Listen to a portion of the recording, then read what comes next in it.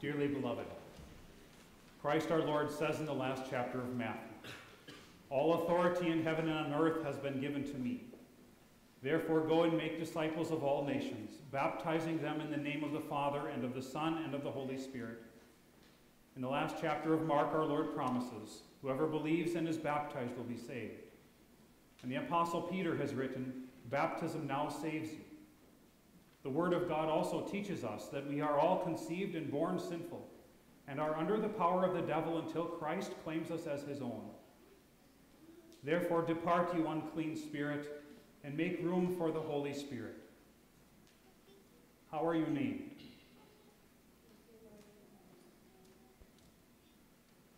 Ruthie Marie Anderson, receive the sign of the Holy Cross both upon your forehead and upon your heart to mark you as one redeemed by Christ the crucified.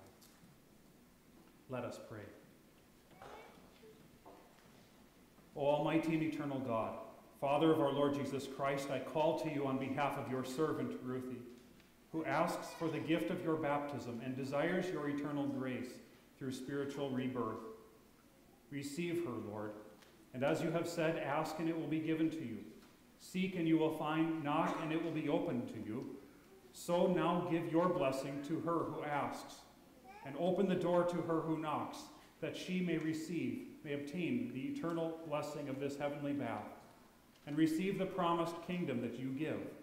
Through Jesus Christ our Lord. Amen. Let us pray. Almighty and eternal God, who according to your righteous judgment condemned the unbelieving world through the flood, and in your great mercy preserved believing Noah and his family, who drowned hard-hearted Pharaoh and with his army in the Red Sea, and led your people Israel through the same sea on dry ground thereby foreshadowing this bath of your holy baptism, and who through the baptism of your beloved Son, our Lord Jesus Christ, sanctified and set apart the Jordan and all water to be a blessed flood and a rich and full washing away of sins. We pray according to the same boundless mercy that you would graciously behold Ruthie and bless her with true faith in the Spirit, so that through this same saving flood, all that has been born in her from Adam and which she herself has added thereto, may be drowned in her and be engulfed. Grant that she be separated from the multitude of unbelievers, preserved dry and secure in the holy ark of the Christian church, and serve your name at all times, fervent in spirit and joyful in hope, so that with all believers she may be made worthy to attain eternal life, according to your promise through Jesus Christ, your Son, our Lord, who lives and reigns with you and the Holy Spirit, one God, now and forever. Amen. Hear now the Holy Gospel according to St. Mark.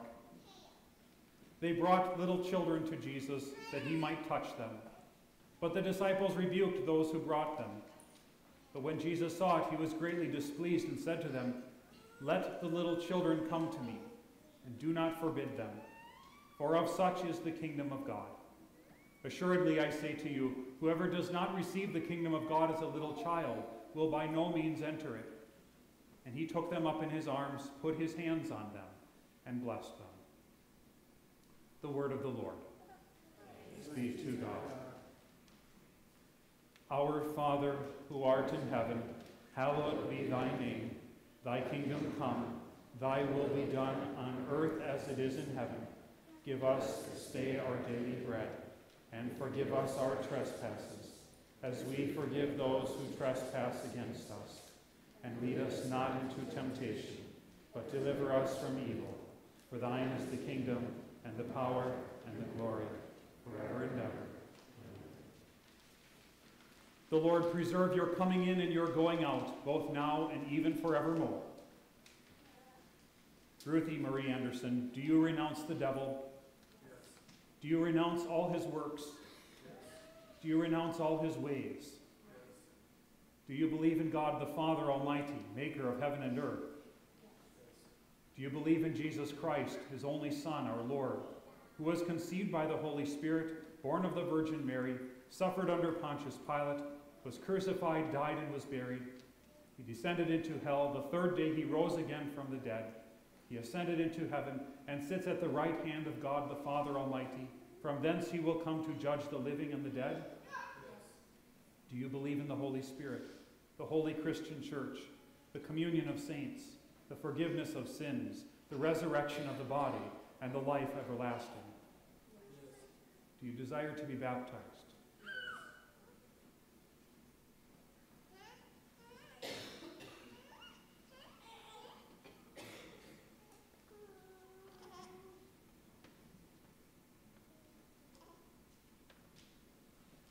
Ruthie I baptize you in the name of the Father, and of the Son, and of the Holy Spirit. Amen.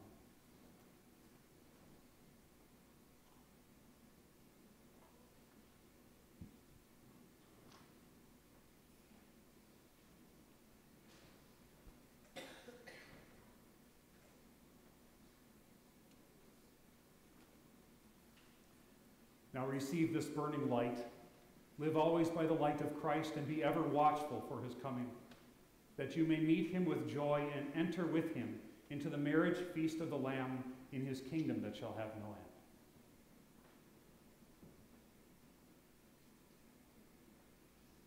The Almighty God and Father of our Lord Jesus Christ, who has given you new birth with water and the Spirit, and has forgiven you all your sins strengthen you with his grace to life everlasting. Amen. Peace be with you.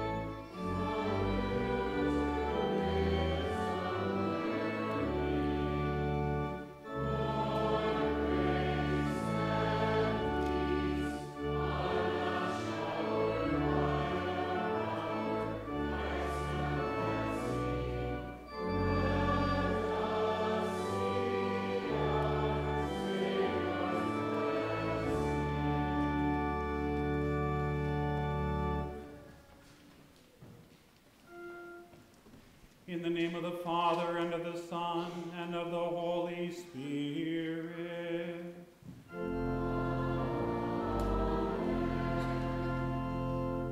Beloved in the Lord, let us draw near with a true heart and confess our sins to God our Father, asking Him in the name of our Lord Jesus Christ to grant us forgiveness. Our help is in the name of the Lord, who made heaven and earth. I said, I will confess my transgression unto the Lord, and he forgave the iniquity of my sin.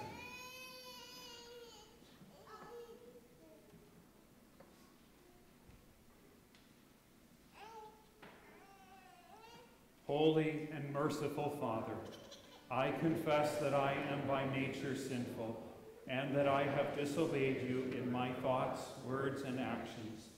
I have done what is evil and failed to do what is good. For this I deserve your punishment, both now and in eternity. But I am truly sorry for my sins, and trusting in my Savior Jesus Christ, I pray, Lord, have mercy on me, a sinner. God, our Heavenly Father, has been merciful to us and has given his only Son to be the atoning sacrifice for our sins. Therefore, as a called servant of Christ and by his authority, I forgive you all your sins in the name of the Father, and of the Son, and of the Holy Spirit.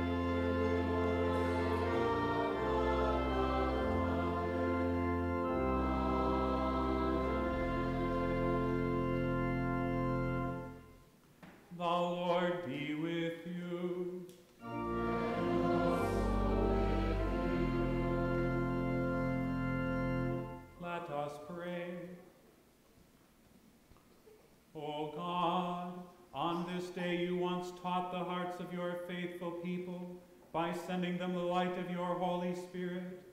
Grant us in our day by the same Spirit to have a right understanding in all things, and evermore to rejoice in his holy consolation. Through Jesus Christ, your Son, our Lord, who lives and reigns with you and the Holy Spirit, one God, now and forever.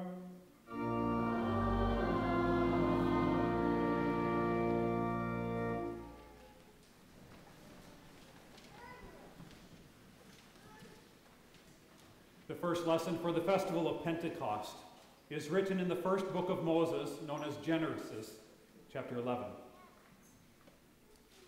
Now the whole world had one language and a common speech.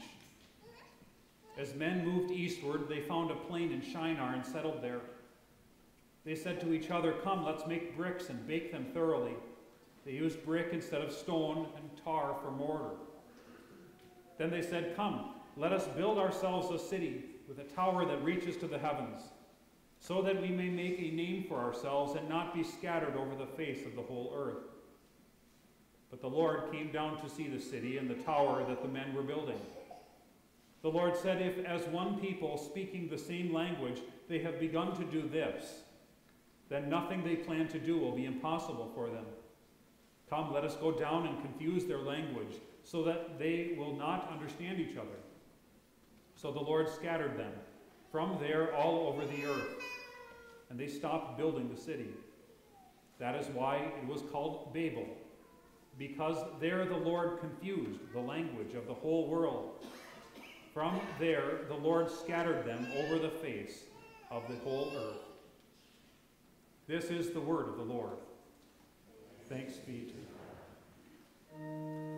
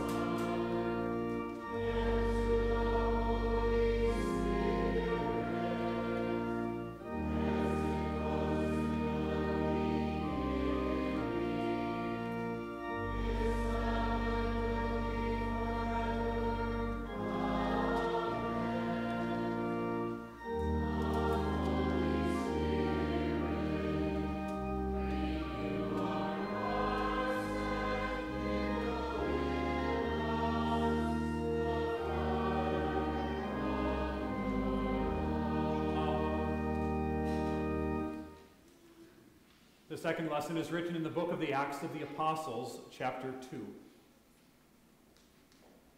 When the day of Pentecost came, they were all together in one place. Suddenly, a sound like the blowing of a violent wind came from heaven and filled the whole house where they were sitting. They saw what seemed to be tongues of fire that separated and came to rest on each of them. All of them were filled with the Holy Spirit and began to speak in other tongues as the Spirit enabled them. Now there were staying in Jerusalem God fearing Jews from every nation under heaven. When they heard this sound, a crowd came together in bewilderment because each one heard them speaking in his own language. Utterly amazed, they asked, Are not all these men who are speaking Galileans?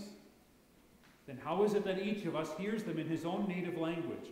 Parthians, Medes, and Elamites, residents of Mesopotamia, Judea and Cappadocia, Pontus and Asia, Phrygia and Pamphylia, Egypt and the parts of Libya near Cyrene, visitors from Rome, both Jews and converts to Judaism, Cretans and Arabs. We hear them declaring the wonders of God in our own tongues. Amazed and perplexed, they asked one another, What does this mean? Some, however, made fun of them and said they have had too much wine. Then Peter stood up with the eleven, raised his voice, and addressed the crowd Fellow Jews and all of you who live in Jerusalem, let me explain this to you. Listen carefully to what I say. These men are not drunk as you suppose it's only nine in the morning. No, this is what was spoken by the prophet Joel. In the last days, God says, I will pour out my spirit on all people. Your sons and daughters will prophesy. Your young men will see visions. Your old men will dream dreams. Even on my servants, both men and women, I will pour out my spirit in those days, and they will prophesy. I will show wonders in the heaven above and signs on the earth below blood and fire and billows of smoke. The sun will be turned to darkness and the moon to blood before the coming of that great and glorious day of the Lord and everyone who calls on the name of the Lord will be saved. This is the word of the Lord. Thanks be to God.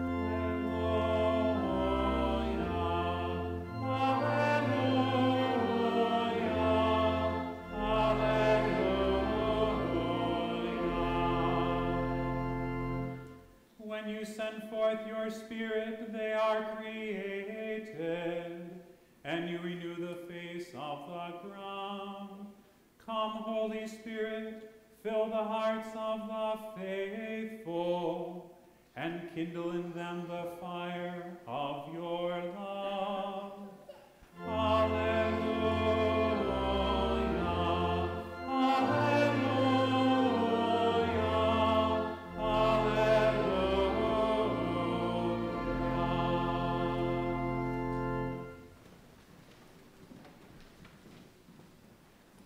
Gospel according to St. John, the 14th chapter. Glory be to you,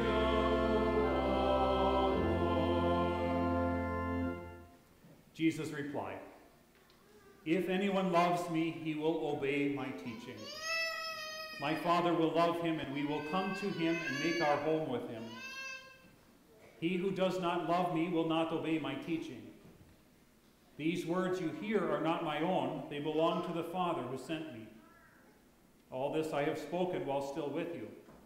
But the Counselor, the Holy Spirit, whom the Father will send in my name, will teach you all things, and will remind you of everything I have said to you.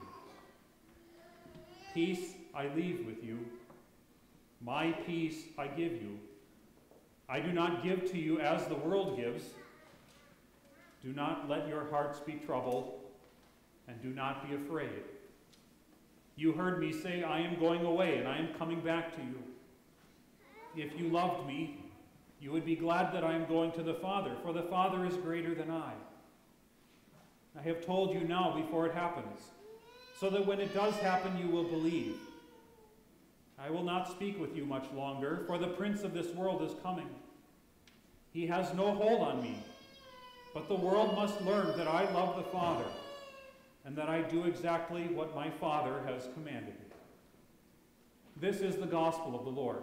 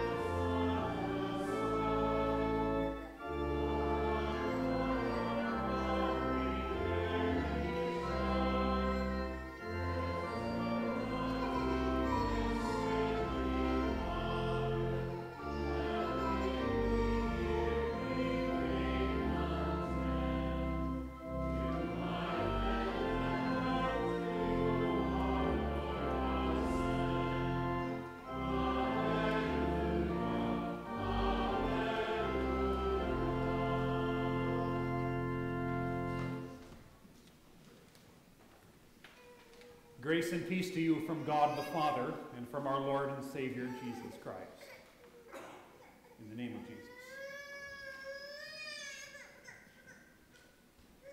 If anyone loves me, Jesus says, he will keep my word. What that suggests and teaches us is that not everyone does or will love Jesus, even among his disciples.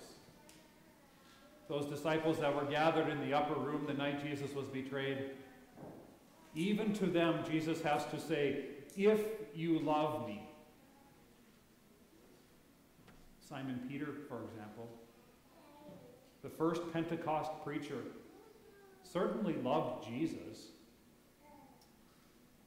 But in the moment when Jesus was on trial, when Peter was afraid to save his own skin, denied even knowing Jesus, so that Jesus later on had to ask him Three times he asked, asked him, Peter, do you love me? My dear friends, baptized children of God, catechumens, lifelong church members, it's a valid question. It's not a given. Do you love Jesus? And will you forever? See, the truth is that, that love for Jesus is not natural. It does not come naturally, not to our natural sinful flesh. We are born, each of us, born into this world without true fear of God and love for Him. We do not, we cannot love Jesus by nature. That's why we baptize babies. But this question is a question that's on our minds for many of us. We're concerned. Concerned about the children that we bring to baptism, concerned about the children that we bring to church to teach, see confirmed, the children that we eventually let loose out on the world to their jobs, to their new families, to work, to life on their own? Will they love Jesus forever until they die? And sadly, the answer, the answer is not always yes. Because, frankly, we do not know the answer, because we don't know the future. We don't know what trials, what temptations, what crosses they will bear. We don't know where life will take them. We don't know what things they will love. But Jesus does. Jesus knows all of that. Jesus knew what was coming ahead for his disciples, just as he knew what was ahead of him on the night he was betrayed, the night before he died. And He knows what is coming for you and for your children. That's why Jesus says these things. That's why He promises the Holy Spirit. Jesus knows, He says, the prince of this world is coming. He knows who the devil is. He knows what the devil wants to do, what he is capable of. He knows what he has done and what he will do for he is not called the prince of this world for nothing. All you need to do is look around at the, at the world you live in and see the proof of his power. He's strong. He delights in devouring Christians, ripping their faith from their chest and their love for Jesus. He has no hold on Jesus, mind you. Any more than the death and the grave could hold Jesus in? No you and your children, that's another story. You and I, we're, we're fairly easy prey. You see, he doesn't have to get us to, to hate Jesus or to, to curse Jesus, only to love the world more. Only to love the things or the, or the people of this world more than him. Do you love Jesus? Will you forever? It's, it's not as easy or as natural as you might think. And so, so that his disciples and you and your children would believe in him and love him even when he is gone, Jesus speaks. He uses his word, and, and that word of Jesus comes to you by his Holy Spirit. See, you weren't there in that upper room the night Jesus was betrayed, but still, you hear the words of Jesus. And that's because of Pentecost. Because this is the work of the Holy Spirit. That is, through his own miracles and the gift of human language, translated, printed, preached, the word of Jesus comes to you. Jesus says, If anyone loves me, he will hold to my word. What does that mean, to, to hold to Jesus' word? Well, first of all, you can only hold on to something that you are in contact with.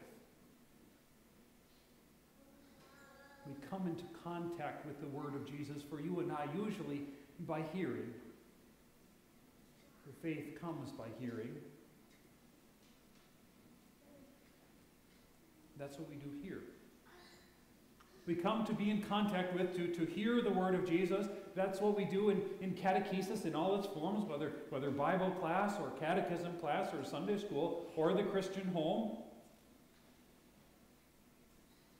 And then, secondly, come into contact with it, and it means to adhere to it. Imagine, suppose, that you're floating down the river, swept away in a, in a river. And there in the middle of the river, as it, before it comes to a waterfall or, or rapids or something, there is a large rock. And so you grab on and you hold on for dear life. Note, you are the moving object. The rock stands firm. It, it doesn't change. So when we hold on to the words of Jesus, it, it, it means that we're the ones that can move. That's the thing that must stay, stay the same. And we hold on to it. Means that if it says something that, that isn't quite the way I think it or I feel it, it doesn't change. I don't change it. It changes me. The Word of Jesus, holding to the Word of Jesus, means that the Word of Jesus can and should teach us, correct us, rebuke us if necessary. And when we do that, when we do that, we hold on to Jesus' Word, His Word, His Spirit. It, it keeps us safe and secure, as we heard in, in the holy ark of the Christian church, in the faith the love of Jesus. It does something to us. It changes us, teaches us, strengthens us. And it will keep us and comfort us, no matter what the prince of this world might throw our way. So that when we are afraid, afraid of what will come upon us and upon our children in days to come, when our hearts are troubled, Perhaps because we, like Peter, have, have not shown the love for Jesus as we should, even have denied him by our words, by our actions, by our life. It is this word of Jesus that comes to you by his Spirit, that, that forgives your sin, that comforts you, that comes before you like a rock to hang on to dear, for dear life so that there, in, in Jesus, you are finding peace and forgiveness in the Word and the blood of Jesus. My peace I leave with you, Jesus says. My peace I give to you. Do not let your hearts be troubled. And do not be afraid. In the wonderful Christian novel, The Hammer of God, there's a story of an old man who is dying. His daughter comes to his bedside and says, You are thinking about Jesus, are you not, Father? The father answers, I am not able to. I can't think any longer. But I know that Jesus is thinking of me. Do you love Jesus? Will you love him forever? I don't know. And our sinful natures and the prince of this world fight against it that we are not able to, certainly as we should. I don't know what the future holds. But this I know. My Jesus loves me and you and your children. That's His Word. That's his promise. That's the work of the Holy Spirit that he proclaims now and again and again to you. To work in you, to create in you a new heart, a new spirit that would love Jesus. And that would all the more hold to his word, hold to it for dear life. Keep his word. And his word, his love, will keep you. Amen. Please stand. The peace of God, which surpasses all understanding, will guard your hearts and minds in Christ Jesus. Amen. We join in confessing the Christian faith with the Nicene Creed. We believe in one God, the Father, the Almighty, maker of heaven and earth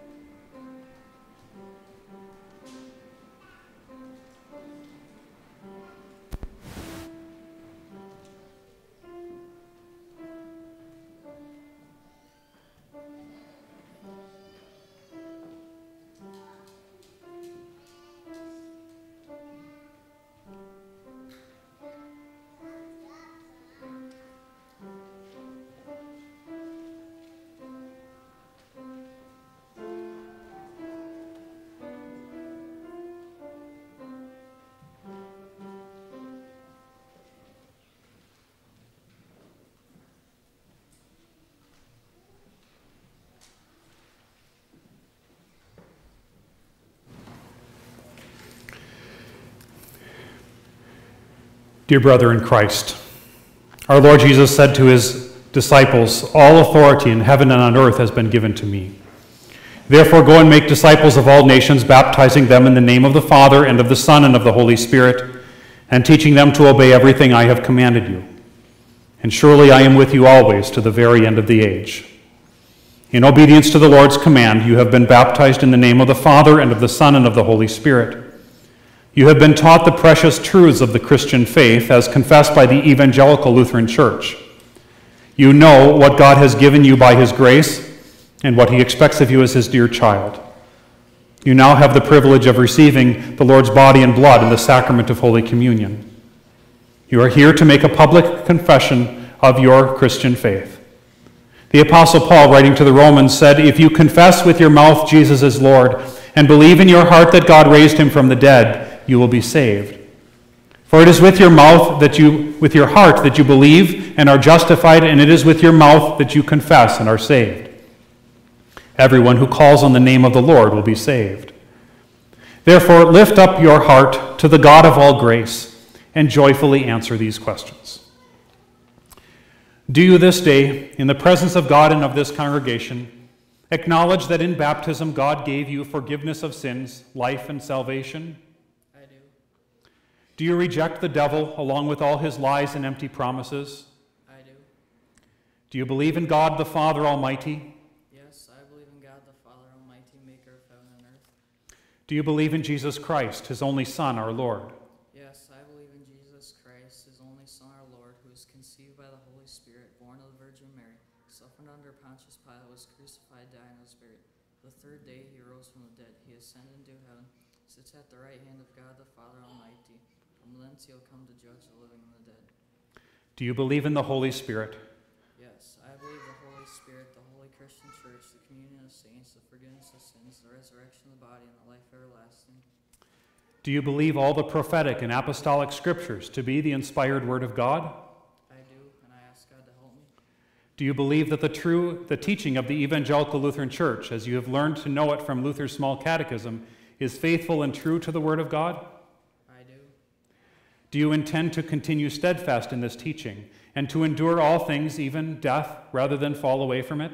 I do, and I ask God to help me. Do you intend faithfully to conform all your life to the teaching of God's Word, to be faithful in the use of Word and Sacrament, and in faith and action remain true to God, Father, Son, and Holy Spirit, as long as you live? I do, and I ask God to help me. We rejoice with thankful hearts that you have been baptized and have received the teaching of the Lord. You have confessed the faith and have been absolved of your sins. As you continue to hear the Lord's word and now also receive his blessed sacrament, he who has begun a good work in you will bring it to completion at the day of Jesus Christ. Amen.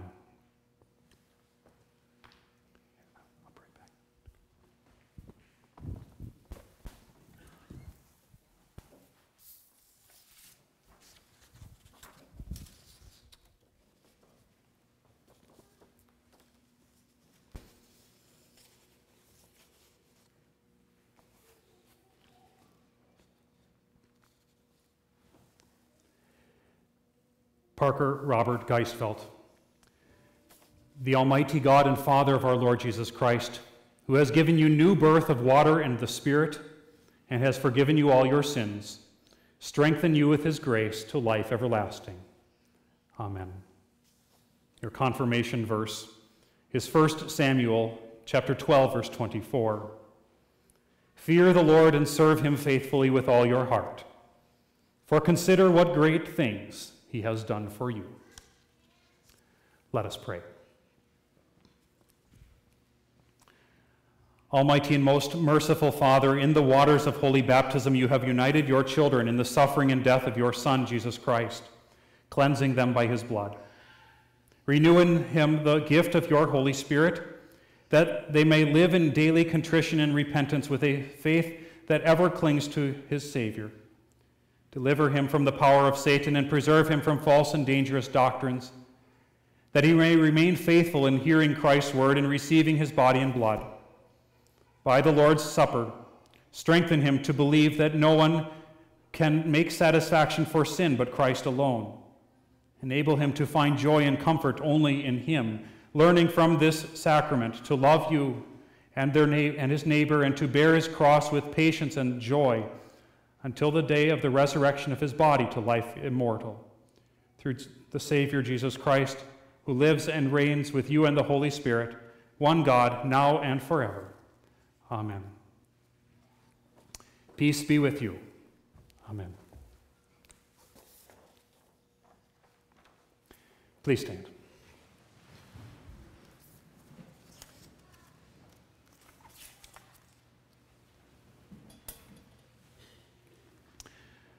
For all baptized believers, that they would be given ears to hear and an eagerness to learn all that the Holy Spirit teaches them about their Lord and Savior Jesus Christ and the salvation they have through him. Let us pray to the Lord. Lord, have mercy. For spiritual renewal in our congregation, district, synod, and the whole church on earth, that by God's grace and the power of the Holy Spirit we would long to keep Christ's word, dwell in his peace, sing God's praises, and love our neighbors. Let us pray to the Lord. Lord, have mercy. For peace among the nations, for those who rule over us, for those who protect and defend us, and for freedom, that the peoples of our world would be blessed to live in peace and quietness, unhindered by threats of violence, oppression, or fear. Let us pray to the Lord. Lord, have mercy. For those afflicted in body or spirit, that their hearts would neither be troubled nor afraid, for nothing can separate them from the love God has for them in Christ, who has overcome the ruler of this world and secured for them eternal peace in his kingdom, which has no end. Let us pray to the Lord. Lord, have mercy. For those who come to the holy altar this day, that they would come in faithful reverence and awe, recognizing how awesome God is in his sanctuary in giving them the very body and blood of their Savior to eat and drink for the forgiveness of their sins and the strengthening of their faith. Let us pray to the Lord. Lord, have mercy. Through our Lord Jesus Christ, all glory, honor, and worship is yours, Almighty Father, with the Holy Spirit, both now and forevermore. Amen. The Lord be with you.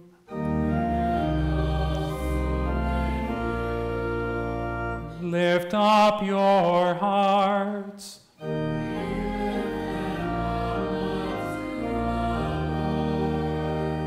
Let us give thanks to the Lord our God.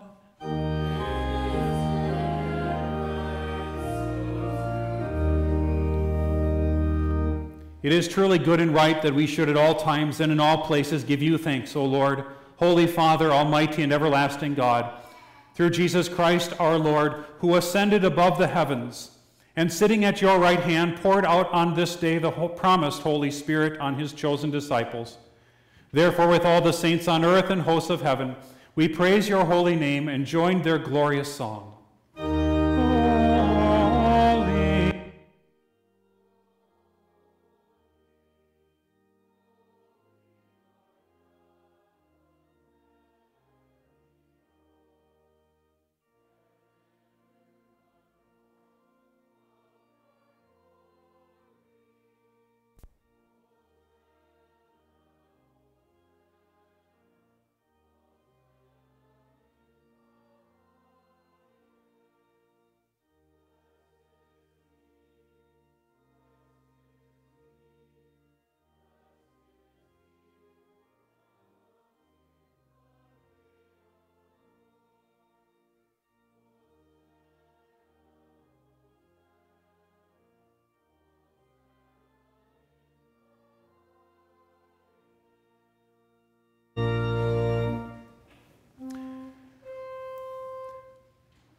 Holy God, Almighty Lord, gracious Father, you have filled all creation with light and life.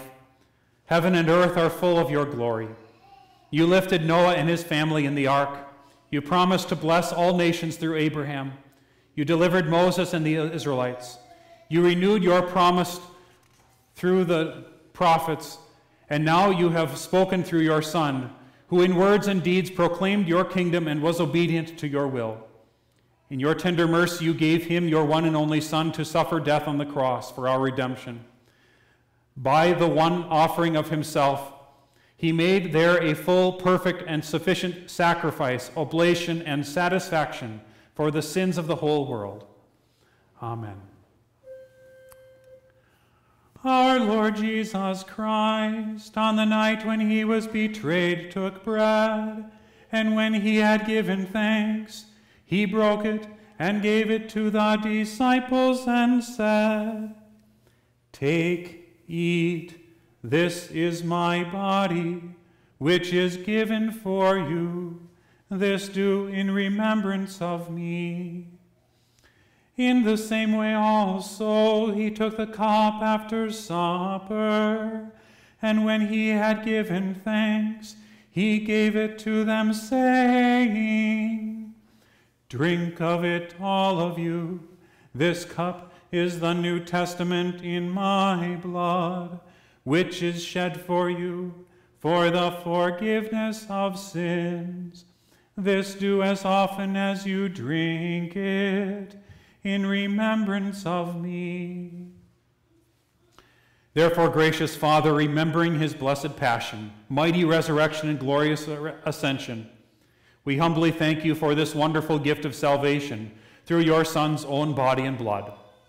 Through him, with him, in him, in the unity of the Holy Spirit, all glory and honor be yours, Almighty Father, now and forever. Taught by our Lord and trusting in his promise, we are bold to pray. Our Father, who art in heaven, hallowed be thy name. Thy kingdom come, thy will be done on earth as it is in heaven. Give us this day our daily bread, and forgive us our trespasses, as we forgive those who trespass against us and lead us not into temptation, but deliver us from evil. For thine is the kingdom, and the power, and the glory forever and ever. Amen. The peace of the Lord be with you always.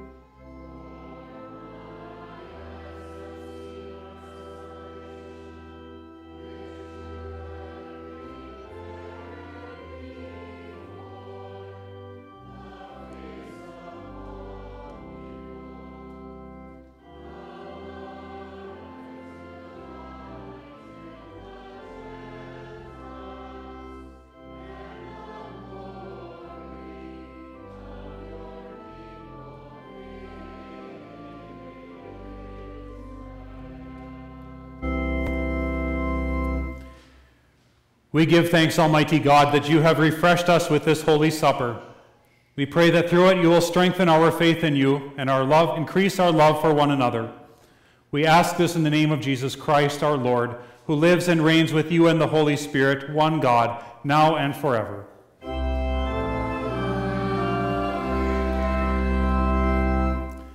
The Lord bless you and keep you. The Lord make his face shine on you and be gracious to you. The Lord look on you with favor and give you peace.